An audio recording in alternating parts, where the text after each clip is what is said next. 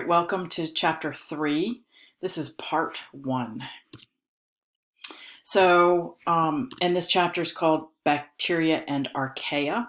So, um, this is the only chapter we'll really kind of talk about archaea.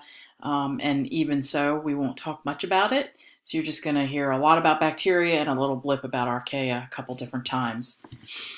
All right, so um, an overview um, how organisms are different from eukaryotes, these specific organisms, how they are different from eukaryote uh, cells. So, how they're different is the way their DNA is packaged, lack of nucleus and histones in the bacteria and archaea in comparison to the eukaryotes, the makeup of their cell wall, peptidoglycan, and other unique chemicals are found in bacteria and archaea their internal structures, lack of membrane bound organelles in bacteria and archaea. And again, that's in comparison to the eukaryote cells. So all bacteria's, um, sorry, all bacterial cells possess a cytoplasmic membrane, um, a cytoplasm, ribosomes, cytoskeleton, one or a few chromosomes, and then most bacterial cells possess a cell wall and also a surface coating called a glycocalyx, which we will talk more about after a little bit. Some structures found, um, or structures found in some bacteria, um, flagella and pili, fimbriae.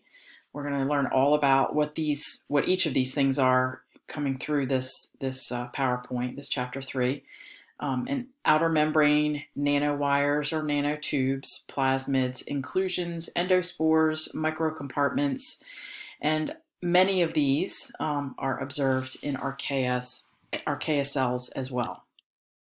So this is the kind of generic structure of a bacterial cell.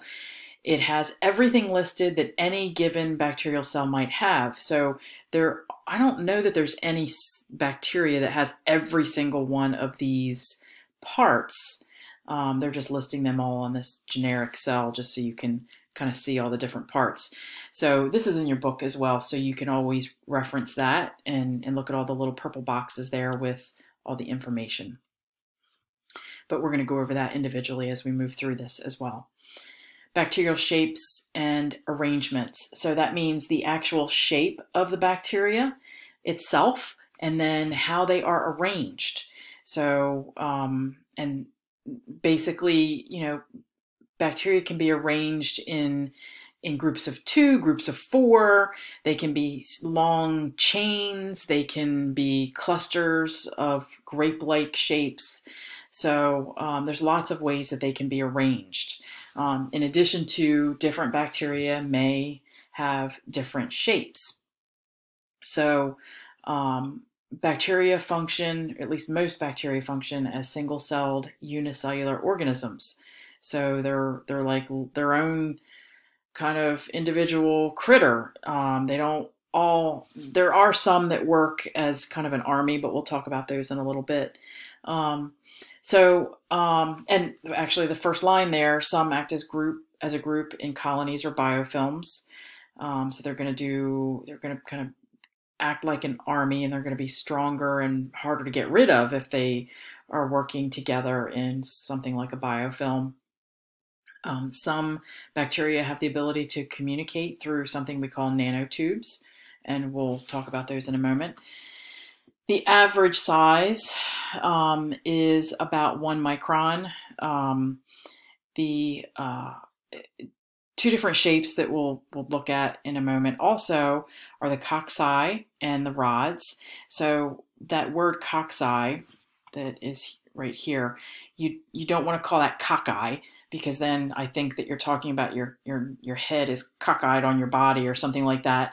Um, it's pronounced cocci or rods, depending on what we're talking about. And a cocci type shape bacteria, a cocci shaped bacteria are round like a softball or a baseball, at least for the most part. They can have some some variations in that shape, but generally speaking, they're going to be round-ish.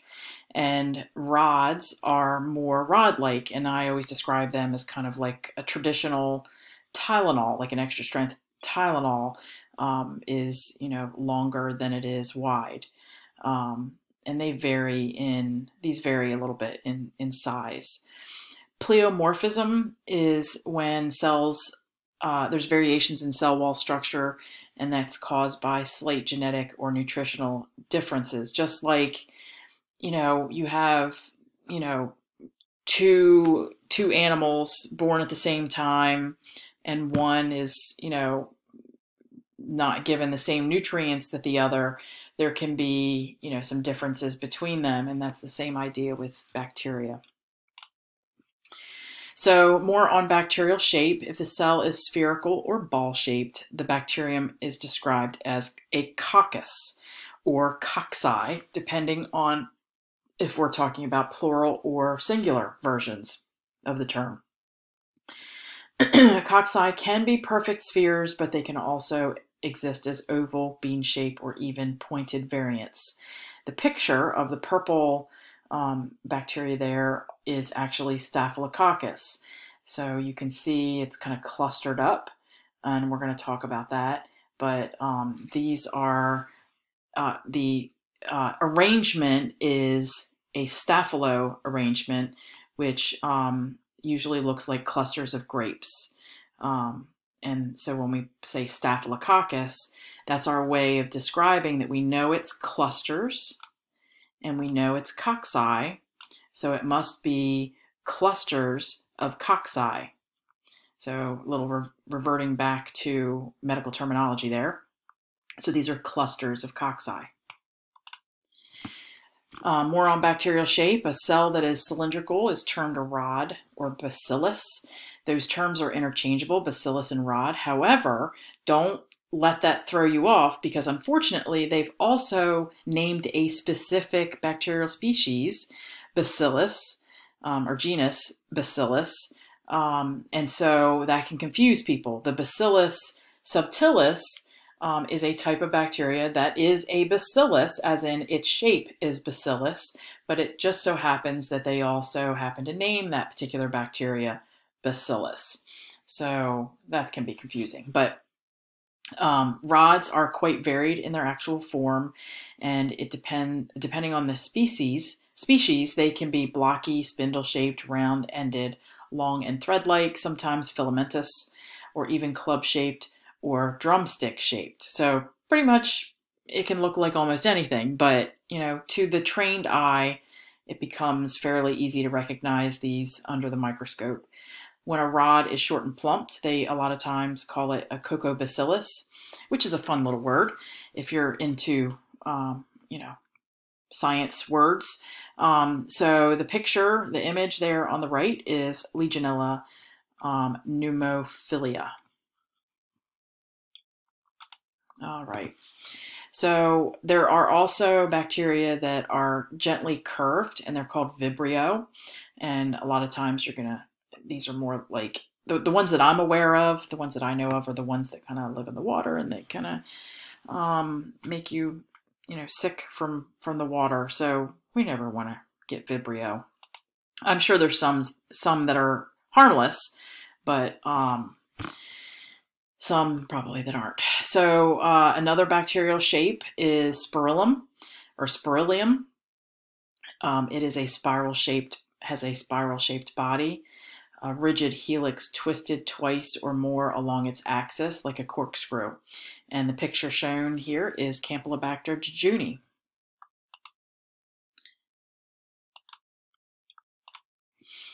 And another bacterial shape um, this one is called a spirochete, and the spirochete contains what they refer to as a periplasmic flagella, which is, we'll talk about this later too, but a periplasmic flagella is found um, underneath, I believe it's the underneath the cytoplasm. So you can imagine if the flagella, which is the, the, the part of the cell that makes it mobile or motile, if you will, um, is kind of underneath the skin, then then it's suddenly kind of gyrating around in a weird way. Um, so this is uh, a flexible form that resembles a spring, and the photo in uh, on the right hand side is spirochetes. There are some bacteria that can produce um, filaments. Um, example is Streptomyces. It's a basic rod with some branching filaments. Something like that um, is. if you're not used to what you're looking at, you can probably confuse it with some types of fungus, um, which is not necessarily accurate. Um, all right, so bacterial arrangements. As I mentioned before, if you know, cocci um, can be arranged individually. They can just have single cocci all over. You know, if you make a slide and we look at it under the microscope, it can be single individual cocci. It can be um, arranged in pairs where there's two cocci stuck together. Um, and if it was groups of four, it would be tetrads. Um, irregular clusters, then we get into staphylococci.